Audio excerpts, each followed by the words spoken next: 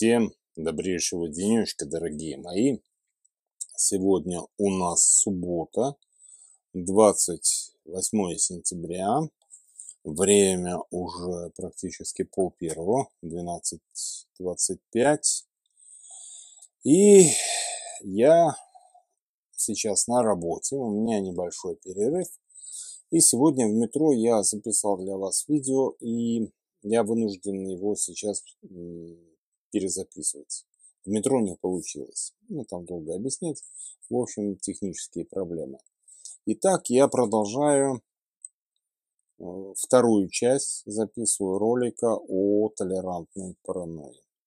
Часть вторая. Первое. Почему вас так это интересует, не знаю. Ну ладно, раз уж интересует, отвечу. Желание зрителя должны выполняться по мере возможности. Итак, про геев. Вообще про всех этих меньшевиков. Итак, я являюсь убежденным гетеру, утверждаю, что идеология ЛГБТ – это путь в никуда. Я не считаю гомосексуализм нормой как некоторые мне пишут в личку, а, что э, гетеросексуализм это не есть норма, а всего лишь массовое явление, что якобы гомосексуализм это есть абсолютная норма. Нет, ребята, это не норма. Это отклонение от нормы. На самом деле, при всем моем скажем прямо так, неоднозначном отношении к совку и все, что было связано к этому, с этим временем, все-таки я скажу, что при э, Советском Союзе гомосексуализм лечился, и лечился намного легче даже, чем алкоголизм. Вот. А, из тех, кого я знаю здесь, ну, разумеется, руки я им никогда не подам, за один стол я с ними не сяду. Об этом чуть позже. Так вот, э, геи – это, как правило, такие избалованные истерички с конкретно поехавшей кукухой.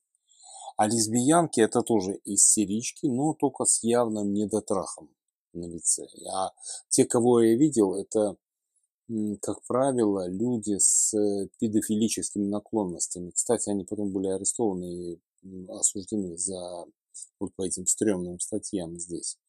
Процент педофилов э, среди геев очень высок. Это не мои умозаключения, это, это полицейская статистика. Кстати, недавно, ну как недавно, года 4, наверное, назад, это еще было до, до пандемии, а здесь в музее Мунха была выставка, и там, значит, выставлялись два супруга, художники. Вот. И, ну, как вам сказать, у меня трехлетний внук сейчас также рисует. Или я думаю, может мне бросить, чем я занимаюсь, и пойти в живопись. То, что они изложили, это... Срамота, срамота, срамота. Срамота. Нет, не срамота даже. В общем, э, когда я говорил с организаторами, говорю, а... А что, так можно было, что ли? Да, это такое искусство, а сами художники говорили, вы все дебилы, я так вижу. Я художник, я так вижу. Так вот, и еще об одном художнике чуть попозже поговорим. Я спрашиваю, а в чем их достоинство? Он говорит, ну вот, они геи. Ну, ну хорошо, геи, при чем тут? А дальше. А достоинство-то их в чем? Что они делают? Они талантливые, они что-то... Нет, ну вот то, что они выставили, сейчас трехлетние дети в садике это рисуют. Вот. Что это, не знаю, продавалось, это, наверное, продавалось за хорошие деньги. Они повторяют, ну, ты не понимаешь, что ли? Они геи. Ну и дальше что? Я услышал, они геи. А что еще? То есть, все все таланты на этом закончились. То есть не надо быть талантливым художником, писателем, там, буквально разрывать себе мозг ночами там над какими-то проектами, все. Надо, не надо работать головой, а надо работать... Да, да. Итак, э, дальше продолжая ваши вопросы, дорогие мои. Мое мнение было и остается прежним, что в мире есть два пола. Два. Мужской и женский. Третий пол, небинарные или вебинарные личности, кто там, это все чистейшая психиатрия, хотя я не врач, у меня нет музыка, э, извините, медицинского образования. Пусть так останется, не буду переписывать этот кусок. У меня нет медицинского образования, но все вот эти вот э, третий пол, там трансгендер, кстати, о трансгендерах еще поговорим. Это все чистейшая психиатрия. Так что, э, ну, как я вам сказал, с геями я на одном гитаре их даже срать не сяду, грубо говоря. Дальше. А, однополые браки, когда говорят, что вот там нет насилия. Дорогие мои, однополые браки – это тот же самый путь ЛГБТ, который пути в никуда. Потому как однополые браки не дают потомства. Это никакой толерантностью не переплюнуть. Однополые браки не дают потомства. Все. А искусственное оплодотворение женщин и усыновление детей – это не совсем одно и то же. Э, хотя, как я сказал, среди геев и лесбиянок процент педофилов намного выше, чем у обычных людей.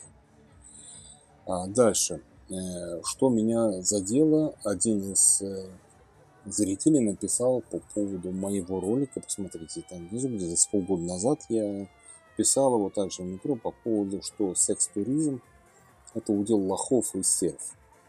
Да, действительно, есть один картавый блогер, travel блогер-миллионник, который ездит по странам третьего и четвертого мира там и трахает все, что шевелится.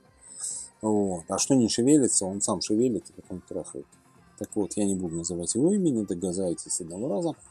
В общем, э, кроме того, он выкладывает на Патреоне, как говорят, там откровенную порнушку, но я подписан на него на Патреоне, но копейки ему даже не дал ни разу. Вот, я ничего там не видел. И меня поражает то, как он с ними ведет себя. Вот в наших краях, откуда я родом, вообще не принято целовать женщину незнакомую, тем более в губы. Потому что я, например, э, точно не знаю, что у нее могло быть во рту 5 минут назад. Я натурально брезгую. Потом, все, кто ездит на э, секс-туризм, я вам конкретно говорю, ребята, вы лохи. Вы летите 10-12 тысяч километров, хрен знает куда, в тьму таракань, чтобы там подцепить целый букет срамных болезней.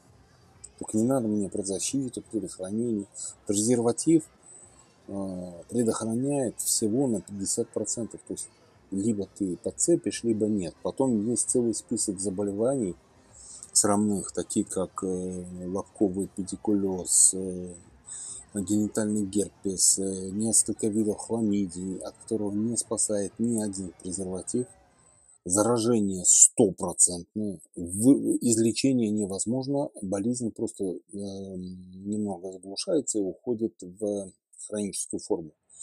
Откуда я все это знаю? Мои друзья, ну оттуда еще с прошлой жизни, с Ташкента, они попереболели всем списком венерических заболеваний, вот какой есть. Некоторые даже по два раза, а у одного даже был ВИЧ, и от чего он, кстати, и умер потом.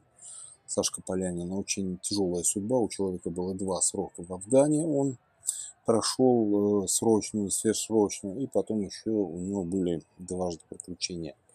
Очень непростая судьба, но вот умер от э, ВИЧа. От, э, поймал на проститутке, кстати. Вот. Поэтому у меня очень простой простой рецепт, как не подцепить никакую заразу. Я этим рецептом пользуюсь уже больше 30 лет. Э, действует на 100, на 200, на 1000 процентов действенно. Не надо трахаться где попало. и с кем попало, вот и все. У всех женщин все одинаково. Две сиськи, одна писька, все.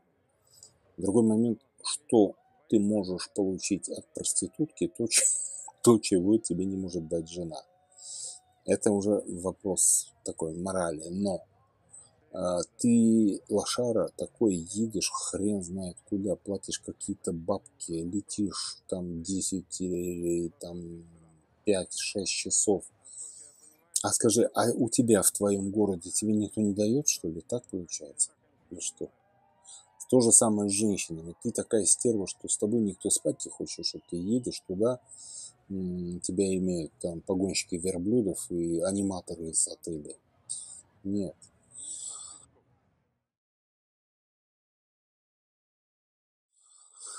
Дальше. Свобода. Свобода, переходящая а, до беспредела.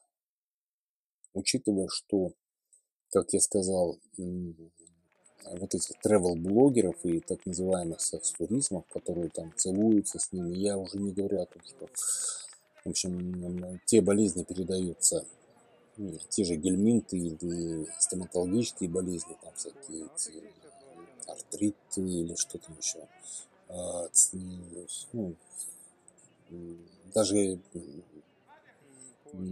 Сейчас я знаю, что язва желудка, э, бактерии, весь бактерии, которые могут вызвать язву желудка. Я уже говорю о том, что кариесы, всякие парадонтосы, все-все-все, это передается через поцелуй.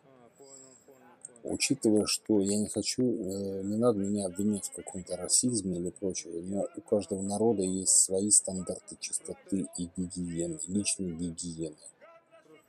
А, когда я был, скажем, ну, в том же Египте, в Турции, то есть э, ни, никакой исламофобии, ничего, но там у местного населения свои стандарты чистоты и личной гигиены, которые мне, как европейскому человеку, они не подходят. Я натурально там буду болеть. То, как они действуют, живут по этим стандартам. Эти стандарты для меня неприемлемы. Вот. Далее, по поводу свободы. Поэтому целовать незнакомую женщину в губы – это потом э, свобода, о которой говорят, например, в соседней Швеции было, так скажем, лет 10, наверное, назад, чтобы не обмануть вас, были даже народные волнения, что ультралибералы, опять же, привет всем моим землякам. И я утверждаю и готов это доказать на основе фактов, что избыток свободы и демократии, он намного хуже, чем их недостаток. Потому как вот э, в Норвегии тоже это пытались э, привнести, там где-то какие-то даже успехи у них были в этом плане. В общем, э, какие-то местные умники вышли в парламент, это депутаты были. Боюсь обмануть вас, из какой партии. Если есть люди со Швеции, кто владеет ситуацией, пожалуйста, напишите об этом в комментах. Так вот, они хотели притащить, э, притащили, вернее, в парламент, и это дело обсуждалось, что педофилия, инцест, зоофилия и некрофилия должна быть исключена из Уголовного кодекса и признана как э, сексуальная ориентация. Что вы э, по всему этому думаете? Далее. Э, в 2000 году, насколько я знаю, ВОЗ, Всемирная организация здравоохранения, исключила гомосексуализм из списка психиатрических заболеваний. А следом пытались они сделать то же самое, что убрать гомосекс... Э, извините, педофилию из спиртлений и внести э, его э, педофилию как, как сексуальную ориентацию. Также они предлагали довести возраст согласия до 12 лет. Сейчас возраст согласия, то есть когда можно вступать в сексуальную связь, 16 лет. А они хотели сделать в 12 лет. Грубо говоря, цыганский вариант, да простят цыгане, то есть когда у девочки начинаются первые естественные биологические процессы, То есть все с этого момента, э, по их разумению, ребенку можно вступать в половую связь с взрослым мужчиной. Вот. Ну и еще э, такая тема, значит, про трансгендеров и все вот эти вот генетические переходы, а гендерные переходы. Как я вам сказал в первом ролике, что здесь недалеко от нас был один такой, ну как бы он есть дом престарелых, и там живут старые геи, которые никому не нужны вообще. Так вот, все они ходят в подгузниках, потому что они натурально ходят под себя. У них недержание кала. Я, повторяю, не врач. Но я, насколько знаю, есть такой орган у человека, называется сфинктер или сфинктер. Там поищите, погуглите, что это такое. Проще говоря, когда они все страдают недержанием кала. Если у каждого из вас была такая ситуация, вам хочется в туалет по, ну, по самой большой нужде, в транспорте или где. То есть вы же можете терпеть, можете как-то напрягать определенные мышцы. Извините за столь интимные подробности, но вы же как-то с этим справляетесь. Так вот, геи, которые занимаются этим, они, э, у них происходит недержание кала. То есть, проще говоря, он дрищет где попало. И сдержать тебя не может. На 3 метра против ветра. Еще один момент, это я уже узнал здесь от одного норвежца, который был женат на одном тайском трансе. Значит, они оплатили какие-то большие деньги, везли его куда-то, какие-то операции, делали то, что называется гендерный переход.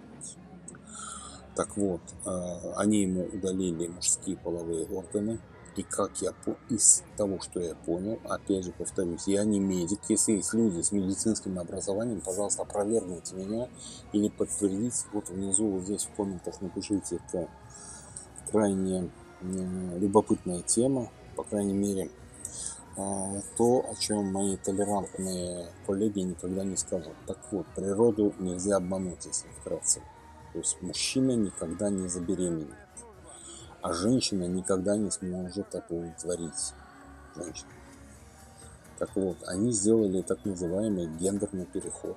Они ему удалили все гениталии, то есть сделали и кастрацию, и удалили все органы, и попробовали соорудить нечто похожее на женский половой орган. Э, естественно, это не получилось. То есть парень очень сильно мучается, ну, понятно, грудь они нарастили, там не то импланты, не то гормоны. Значит, эм, женский половой орган у него не действует как по прямому назначению, даже для мочеиспускания, там какие-то прибамбасы они используют. Дальше, нельзя обмануть природу. А какие бы ты ни жрал гормоны, как я понимаю, но все равно тестостерон есть, а сперматозоиды вырабатываются организмом, а выхода нет. Если человек оказывается долгие годы в тюрьме, и там это дело как бы не западло, а, чем говорят, ну, там, опускаться до, а, до однополых отношений, у зэка всегда есть руки. Вот. Ну, потом, ну, честно говоря, на зонах а, есть женщины, которые, вольные женщины, которые, в общем-то, не прочь скрасить досуг заключенных. То есть там сексуальная тема не стоит так просто. Так вот, у этого парня продолжались выработка сперматозоида и сперматозоидов, и у него начинала ехать реально крыша. Если же при наличии мужского полового он мог бы хотя бы сам собой, чтобы выплеснуть это все, а, то этого полового органа у нее нет. Они даже не могли ему делать массаж простаты, как я понял. В общем, дело закончилось тем, что парень сам себя приговорил. Вот. И процент таких вот э, такой процент очень высокий. Потом сейчас пошла другая мода, я забыл, как это называется, в общем, обратный гендерный переход. То есть э, ребята, если так можно назвать, разочаровавшиеся в однополой любви и прочее, то есть они возвращают себя опять в мужской вид, а девушки а, женские. Кстати, у меня есть вот несколько знакомых девушек, которые выглядят как мужчины, у них отсутствует грудь. Я не заглядывал туда, по-моему, удалена. Вот, и они начинают бриться, у них такой большой пушок появляется, и они пытаются огрубить голос как-то, и, но все равно они остаются женщинами со всеми биологическими процессами.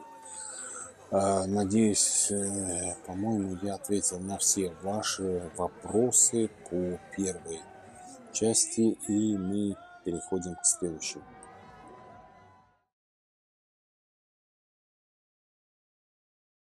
Итак, часть вторая про моих коллег. Дело в том, что в этом болоте я уже более чем 25 лет, с 1998 года, как только освободился из тюрьмы. Я могу констатировать факт, что э, в этом плане мои коллеги я имею в виду правозащитные организации, начнем вот с этой помойки ООН, Amnesty International, Human Rights Watch, Хельсинская Федерация и прочее, и прочее, и прочее, в странах Центральной Азии сделали чуть меньше, чем ничего. Странно, что их всегда интересовали так называемая вооруженная позиция. Когда я пытался донести им некоторые детали по а, нарушениям прав человека, их очень сильно интересовали, ну тогда их называли ваххабиты, хизбутчики, и все, что касается темы ЛГБТ. Кстати, а, в последний раз, надеюсь, это было в последний раз, в Варшаве в 2020 году, в октябре, я делал доклад, на моем канале есть об этом, я делал доклад, альтернативный доклад о правах человека в Узбекистане, о пытках, о тюрьмах, о концлагерях. Э, рядом сидели представители вот, этой помойки ООН и от ОБСЕ, кто-то еще там не помню. И кто пришел ко мне в коморку. Кто мог? Нет, к соседям. Так вот, они сидели, один даже откровенно ковырялся в носу, да, прям публично, да. Ну, козявки не ел, но ковырялся в носу. И как только у меня одна коллега, а, Таня Довлатова, привет, а, сказала такое, что у нас там в Ташкенте есть парень один, в общем, он еще не сделал гендерный переход, но он стал трансгендерной женщиной, в общем, его закрыли в КПЗ там за драку, за какую-то, в общем, сейчас ему очень тяжело. Вы бы видели, как они все оживились где, как, что, зачем, почему, для чего. Вот это по отношению к этим. Итак, навязанное, подчеркнутое вот это жополистство, чтобы никто, э, упаси вас, здравый смысл не обвинил вас в гомофобии. Что такое гомофобия, я уже говорил. У меня нет гомофобии никакой. Но кроме гомофобии есть еще и другие вещи. Потому как, заходя в офис э, скажем, любой организации здесь, ну не любой, но многих правозащитных организаций, они смотрят на меня как на какое-то чудовище, потому как по их разумению, если ты белый, ты уже просто по определению расист. Все. Кроме того, в Европе есть такая поговорка. Она называется «ты, выгля... «ты тот, как ты выглядишь». По-русски это звучит, что встречают по одежке. Но есть в русском языке продолжение этой поговорки «провожают по уму». А у европейцев она звучит, что о людях судят по результатам их дел. Я еще проще утрировал все это. Птичку видно по помету. Вот. Так вот, а, в Европе заходя в офисы многих правозащитных организаций, я испытываю какой-то вот когнитивный диссонанс такой, что я думаю, что я попал не в правозащитную организацию, а в какой-нибудь эм, военкомат где-нибудь в Сирии, ну, пусть такое слово будет, военкомат в Сирии или в Ираке, где-то, где вербуют боевиков ИГИЛ, потому что так они вы, ты тот, как ты выглядишь, ребята, земляки никакой исламофобии, но вот эти вот, как не придешь туда, вот эти бородатые шайтаны в чалмах, они там правозащитники, они тебе конкретно говорят, ты грязная русская свинья. Хотя один из них, узнав, что я по материнской линии поволжский немец и называть меня открыто русский фашист. Русский фашист. Я никогда Ты не русский жил. фашист, пошел вон.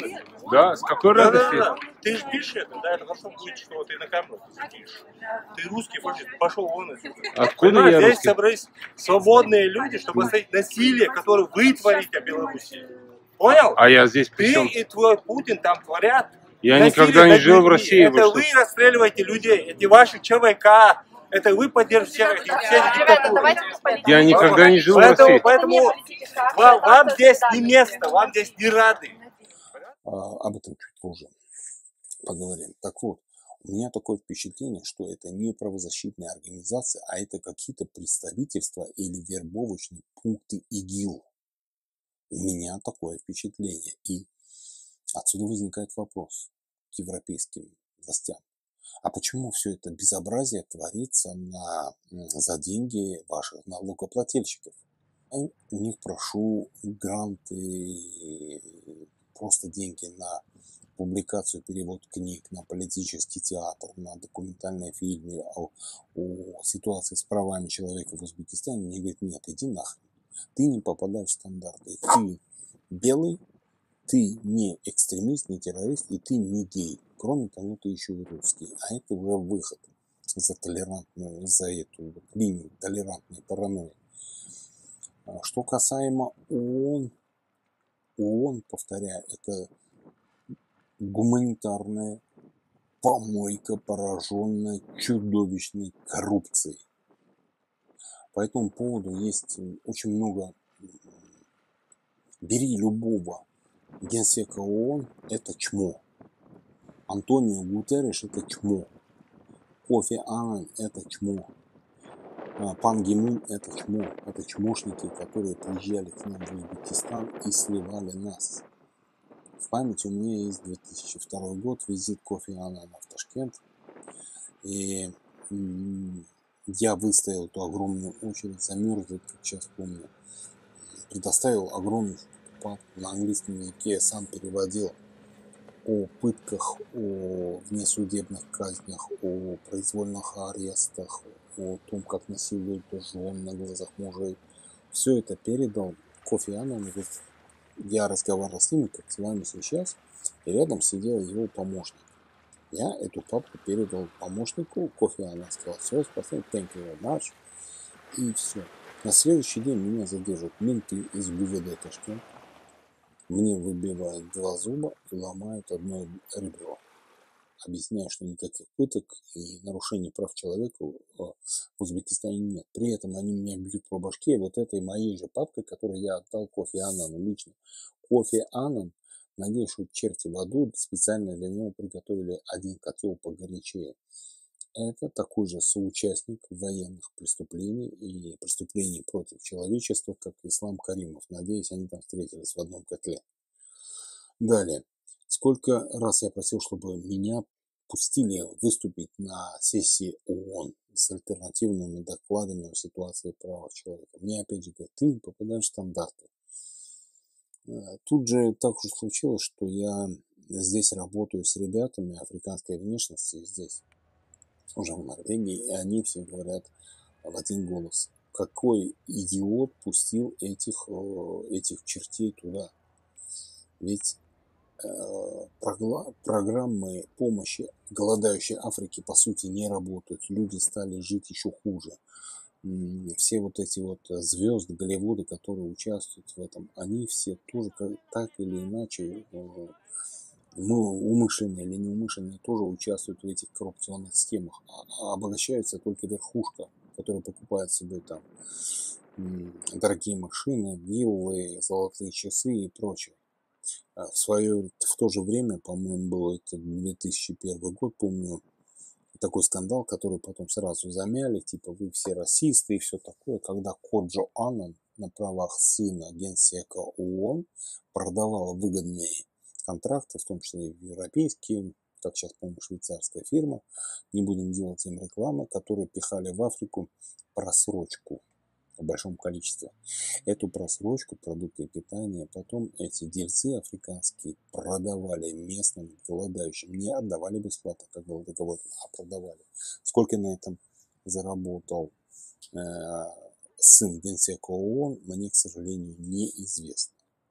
А сейчас а, получается, что ваш покорный слуга это ну, не просто Росбек, спасибо, кстати, за комменты, не просто Росбек, а единственный урус, во-первых, который был осужден тогда по 159-й ваххабитской статье, посмотрите на мою физиономию, я ваххабит, да, еще как анекдот может звучать.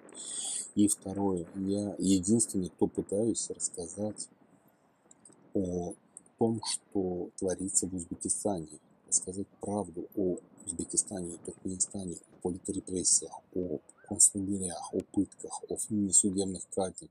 А мне говорят, нет, ты должен быть либо черный, либо ты должен примкнуть к этим, ко всем этим шайтанам, либо быть геем. Все. То есть такие белый гетеросексуальный мужчина, атеист без явных психических отклонений или физических недостатков, у них признан недочеловеком. Это прямо вот написано, читай между строк. И это неогеббельсовщина у них преподносится как норма. Далее. Почему а, с коллегами у меня не складывается? Ну, смотрите. Давайте возьмем самый простой пример. А, туда, куда я обращался. Например, МИД Норвегии. Они Э, четыре раза в год раздают серьезные гранты на гуманитарную программу. Ну, как говорится, съесть он съесть, а кто ж ему даст.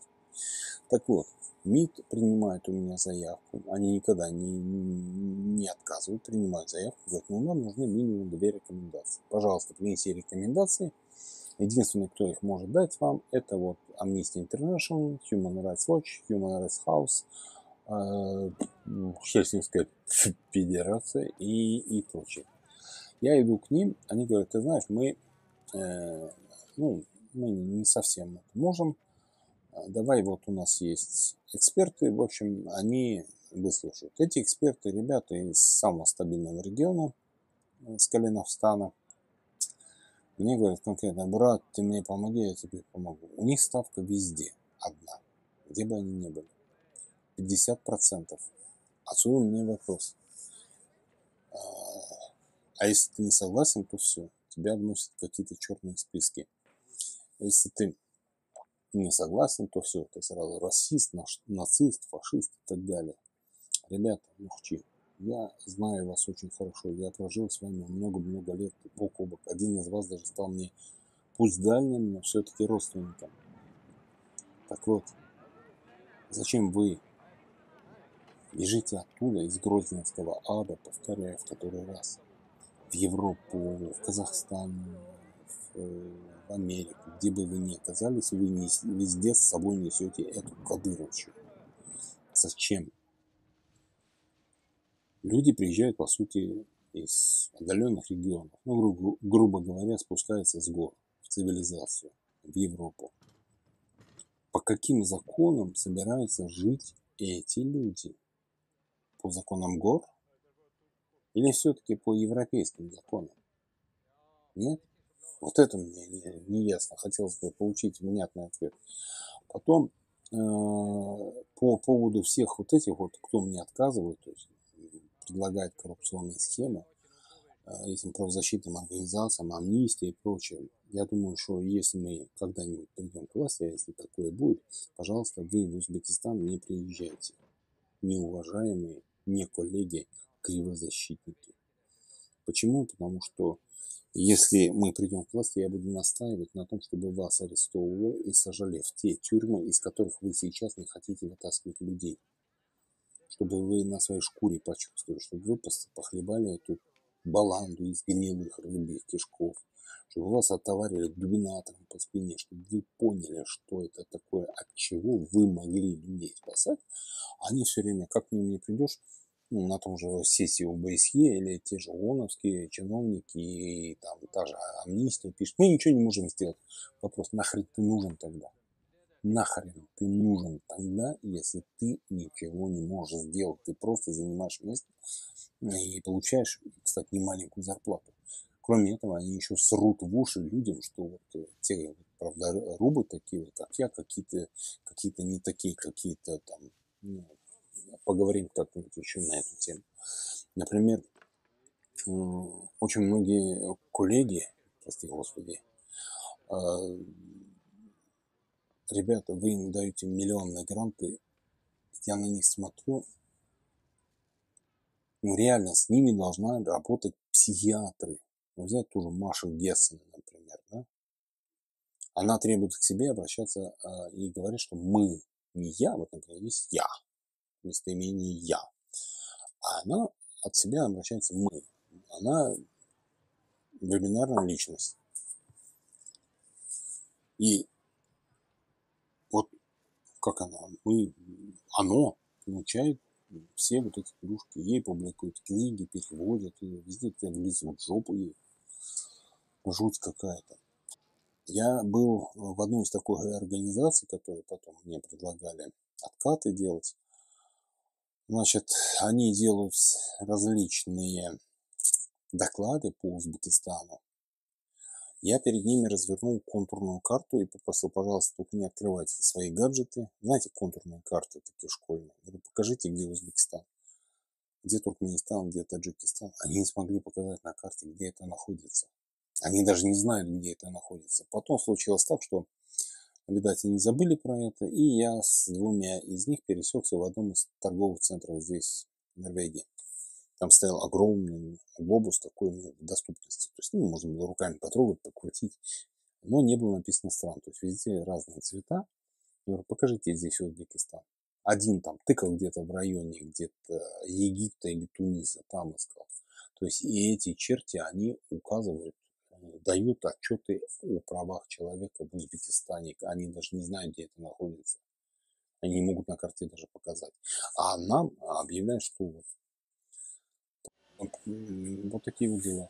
И эти же организации потом, они срут в уши, везде распространяют э, небылицы о том, что я какой-то там агент ФСБ, что я работаю на Кремль, что... Откуда я здесь русский? собрались свободные люди, чтобы остановить насилие, которое вы творите в Беларуси. Понял? А я здесь Ты и твой Путин там творят. Я никогда не жил в России. Это вы расстреливаете людей, эти ваши ЧВК, это вы все диктатуры. Я никогда не жил в России. Я там кого-то где-то шпионю за кем-то. Ну, во-первых, ребята, за 21 год, а здесь очень мощные спецслужбы контрразведки, за 21 год никто из них не имел никаких претензий ко мне и не имеет, у меня есть на это официальный документ, что норвежские спецслужбы не имели ко мне никаких вопросов вообще и не будут иметь. Знаете почему? Потому что если какая-нибудь российская, там, китайская, иранская, белорусская разведка ко мне обратится, первое, я пошлю их нахрен, а второе, незаметно для них – я вызову полицию. Все, они это знают. Поэтому российская разведка там, или белорусская, они обходят меня десятой дорогой. А я им отвечаю взаимностью. Так вот мы никогда не пересекемся. Второй момент, что у вас, у придурков, можно такой шпионить. Все, что есть, вы все выкладываете в этих фейсбуках, сиськограммах и прочих. То есть вы везде хвастаетесь. Так вот, а, действительно дыма без огня не бывает. Здесь это правда. Я до 2014 года сотрудничал, со, ну, до сих пор сотрудничаю со многими э, международными СМИ в качестве видеооператора. У меня есть аппаратура, исключительно как видеооператор, иногда как переводчик, иногда как сопродюсер, то есть нахожу материалы. И в том числе дважды я работал с российскими ТВ-каналами. Первый раз это была тема по Брейвику, и второй раз э, с телеканалом Россия по э, русскому неонацисту Вячеслав Дацик, он же Рыжий Тарзан. Все, дальше было у нас небольшое сотрудничество с этой газпромовской помойкой НТВ, которые задолжали мне 600 баксов и кинули меня на это. С тех пор я с ними всякое а, сотрудничество прекратил. Далее, с 2014 года я оборвал с ними всякие контакты. Но я действительно с теми, с кем я работал, я на эти деньги издал свои книги. В тот момент, когда вы, кривозащитники, шайтан вас всех побери, мне в этом отказывали. Все.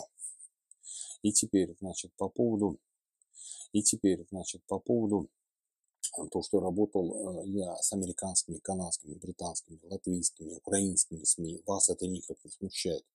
Вас задело, что я работал с двумя российскими СМИ. Во-первых, кто вы нахрен такие, чтобы мне указывать, с кем работать, с кем не работать. Это во-первых. Во-вторых, это было еще до 2014 года. И в-третьих, на эти деньги я издал книги. Ну и все эти деньги, то есть я пустил на доброе дело. Себе буквально ничего не взял. Далее. Теперь, значит, по поводу коллег и еще одной выставки, по вашей просьбе я, значит, достал из интернета э, по поводу художника вот этого. Э, это, кстати, было примерно в то же время. Такой есть художник норвежский Вигард Винге.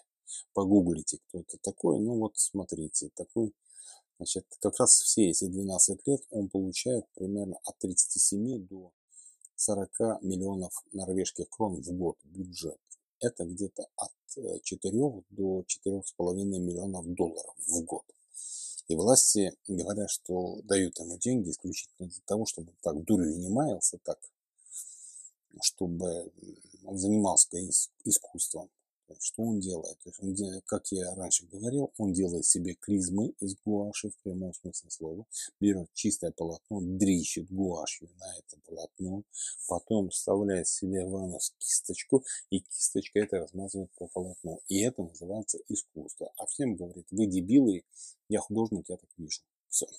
То есть тут просишь на книги, они тебе хрен.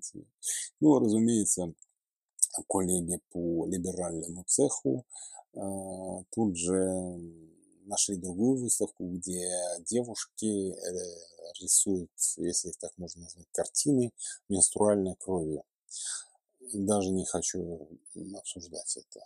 Так что вот, вот вам и пожалуйста.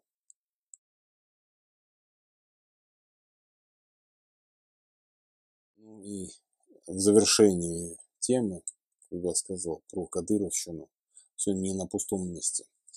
Был это 2020 год, как раз вот летом. Это были белорусские протесты после того, в августе, когда менты на улицах белорусской столицы а, просто лютовали по беспределу, били всех. Даже есть случаи, по-моему, даже кого-то там и убили. Так вот, я не думал, я не думал на эту тему, ну, кроме сочувствия. Ну, проходил по центру Осло и увидел а, странные флаги. Ну, потом я, конечно, понял, что это флаги погони белорусской оппозиции. БЧБ. Белый, червоный, белый. А подошел, поговорил с девушками, собственно, вот сюжет. И тут на меня нападает нечто. Пока что чисто на словах сами. Да, кстати. Путинский агент, кстати. Кто? Русский фашист. Да? Ты меня забыл? Ахмед А, не, Мусаев. я помню, я помню. Помнишь меня, а? С какой радости я русский фашист? Я Ты никогда не жил. русский фашист, пошел вон. Да, с какой Да, да, радости? да. Ты же пишешь это, да, это хорошо будет, что ты на камеру пишешь. Ты русский фашист, пошел вон отсюда. Откуда Понимаешь, я здесь русский? собрались свободные люди, чтобы остановить насилие, которое вы творите в Беларуси. Понял? А я здесь при Ты и твой Путин там творят. Я Насилие никогда не жил в. России. Это вы вы что? расстреливаете людей, это ваши ЧВК, это вы поддерживаете Ребята, диктатуры. Я никогда не жил в Поэтому, России. поэтому вам, вам здесь не место, вам здесь не рады. Понятно? Я с какой радости к России к Путину? Я против Путина. Да, да, да, да. Мы, Да. мы, мы, мы я- я- я- я- А я с какой радости? Я за Украину Мы- и за Белоруссию. Я против Путина. Мы хотим остановить насилие. Прошелся, Чей Крым отойди. украинский, конечно. Слышишь? Конечно, украинский. Ты прошелся, отойди, не мешай. Ну, Так. назвав меня, он, это как раз те кривозащитники из того, из того, из той плеяды, которые мне предлагали распил. Вот, не конкретно вот этот вот пациент, да. Э, Так вот, он узнал, что по материнской линии я поволжский немец и стал кричать, что я русский фашист, работаю на Кремль и так далее. Вот.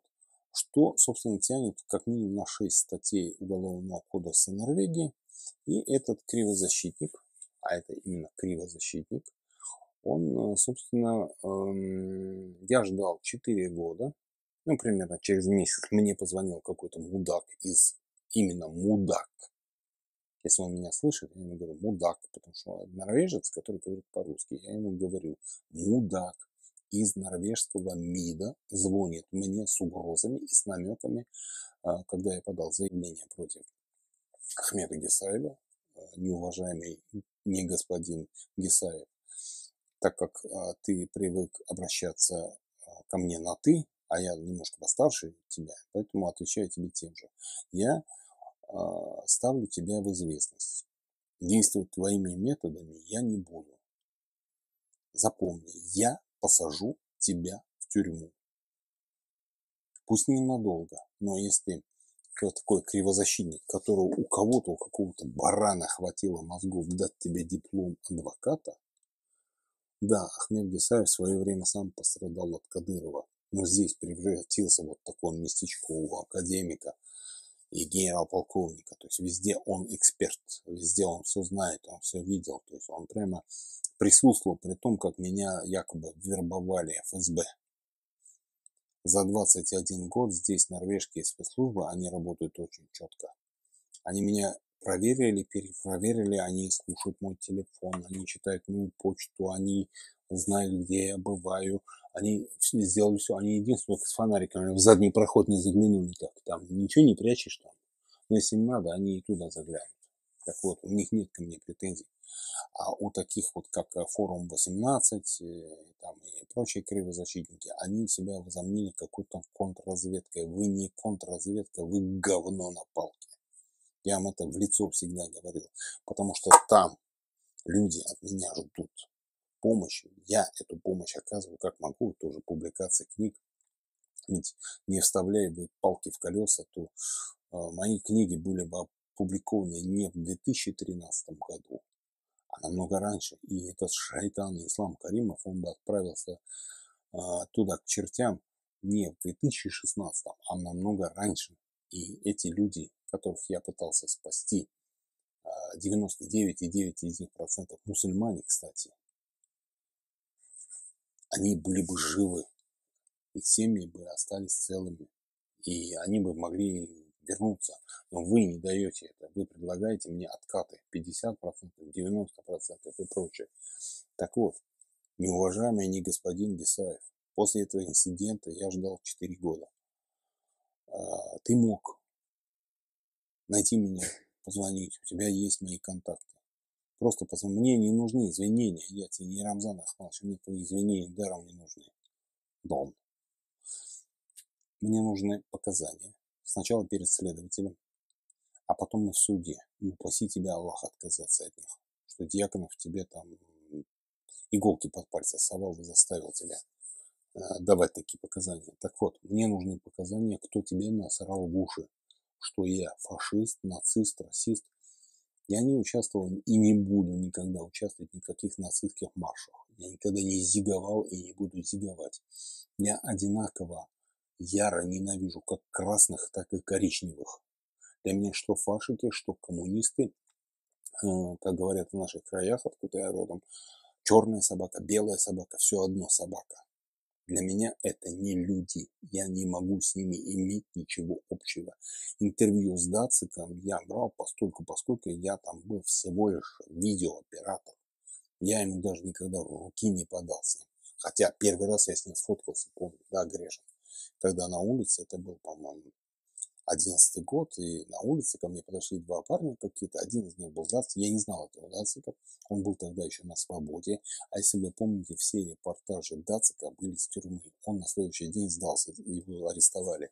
Так вот, подходит, здравствуйте, о, вы такой-такой, да, писатель, о, как приятно, а вот это чемпион мира по боям без правил, вот такой вот он, обладатель золотого пояса, там, вот, я думаю, ну, нифига себе не каждый же день встречаюсь с чемпионом мира. Ну, а можно с вами фоткаться? Ну, давайте сфоткаемся. И эта фотка разлетелась потом, как я якобы а, на следующий день, конечно, я почитал, увидел в этом в прессе, то есть где он там с этой, со свастикой на майке зигует в полиции. Да, о, бог ты мой, куда я попал. Действительно, потом отмыться было очень тяжело. Вот. Так вот, ребята, вы никакая не спецслужба. У спецслужб ко мне нет никаких претензий. Вы коррупционеры, вы жулье, вы э, те ребята, которые здесь есть, чеченцы, я знаю очень многих, это добропорядочные люди, ведущие здоровый образ жизни, со светлым мозгом. И, как правило, если они приходят в мой дом, то есть я там, плов на костре приготовлю, посидим, чаю попьем, поговорим. Плюс-минус 99,9% из них, они мне отвечают плюс-минус тем же. Но есть вот такие вот индивидуумы, которые возомнили себя властелином вселенной, что они теперь правят мир. Понаоткрывали своих организаций, которые, по сути, я не знаю, чем они занимаются, там это пусть ребята чеченцы напишут. Наши ташкентские чеченцы, они другие. Если бы кто-то в Ташкенте от чеченцев услышал в адрес нас, поволжских немцев, ты фашист, они бы просто таких поджопников надавали бы ему. Хотя бы потому, что у чеченцев, например, есть всего два братских народа. Это казахи и поволжские немцы, которые в лихую годину приняли их в своих домах, как своих родных. Потому что чеченцев сослали к нам в тогдашний Туркестан. Тогдашний Туркестан в 1944 году. Моих родственников сослали туда на 8 лет раньше. И моя бабушка по материнской линии, она воспитала своих шесть детей, двух мужей пережила, еще четверых усыновила. Из них один был чеченец. Вот как. А один какой-то не, не самый адекватный человек, ну что, давайте будем говорить честно, мудак, назвал меня русским фашистом. И он за это ответит. И он за это должен сесть в тюрьму. Чтобы избежать этого, нужно сделать очень простые вещи. Надо просто дать показания, кто тебе насрал в мозг, что я какой-то там агент и кто и с чего вдруг.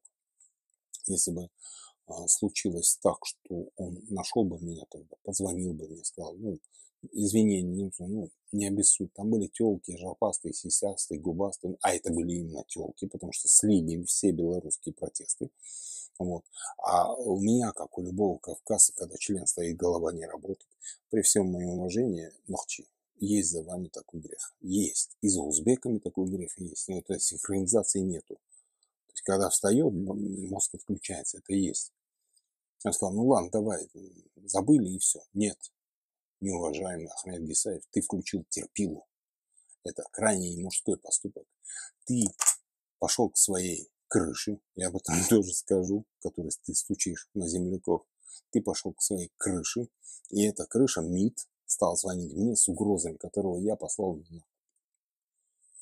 Если он хочет, я сказал, мы с тобой тоже будем говорить в суде. Он сразу, а нет, нет, нет, Дело в том, что я отправил в организацию, где работает или работал Ахмед Гисаев, свои книги и э, заявление, э, ну, скажем так, предложение о примирении. Они это никак не отреагировали, они просто, они э, просто стали жаловаться своей крыше. Теперь для, как я сказал, для любого поволжского немца это очень серьезное оскорбление. Дорогие мои земляки, ватан, ватан душлар, Брудоляр. Вы, многие из вас работали, жили в России, знают, что такое русский фашизм. Так вот, вас многих называли неприятными словами на букву Ч, которые я даже повторять не хочу. Почему я должен это спускать? И теперь по поводу крыши, что э, не всякому человеку здесь дадут открыть свою правозащитную организацию. Имейте это в виду. А ведь спецслужбы местные, они хотят получать регулярно инсайды из диаспор.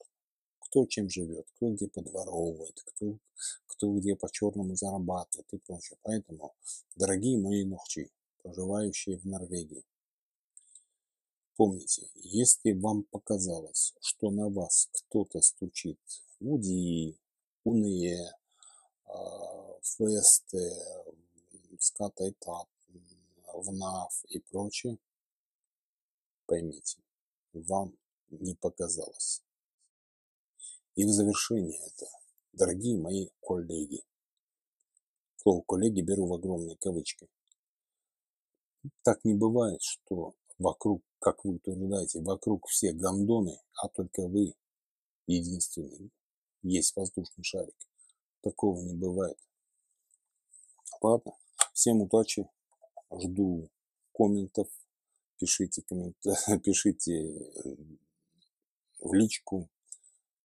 Я читаю практически все. Что-то если пропускаю, извините, это неумышленно. В общем, всем удачи, всем всех благ.